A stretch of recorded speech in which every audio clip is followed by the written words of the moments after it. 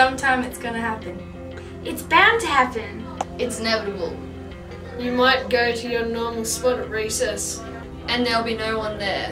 Or they'll be picking teams and suddenly You're the odd one out. Or you'll be lying in bed at night. And then the cruel texts start coming. Let's face it, we're all gonna get bullied. But for most of us, it will be short lived. A one-off event. No big deal. But what's life like for those who are bullied every day? You might wonder if that sort of thing happens at TRAC.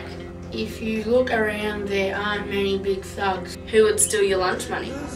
That's because TRAC is generally a safe place. But bullying isn't just flushing kids' heads down the dunny.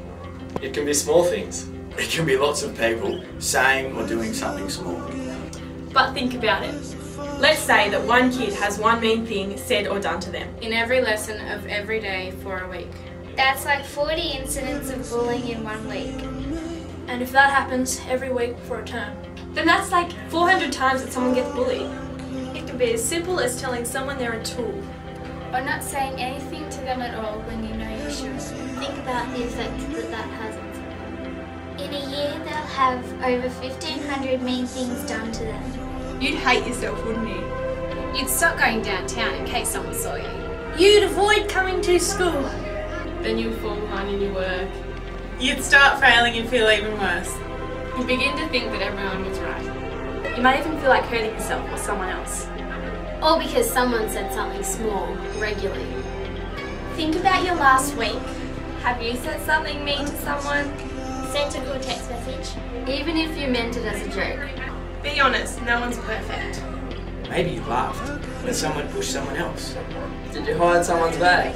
Or take their PE. It seems harmless, but it's not. All those actions form a pattern of behaviour. And the result can be uncomfortable, disturbing. Tragic.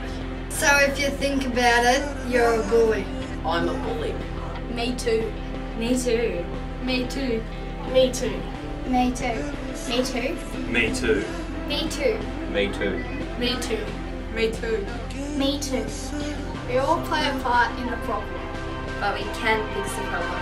Just like bullying can be done through small things. So too can anti-bullying. Think twice before sending that text. Or scribble that cruel joke on someone's Facebook wall. Don't say those unnecessary things. Be careful with jokes. Not everyone has the same sense of humour as you.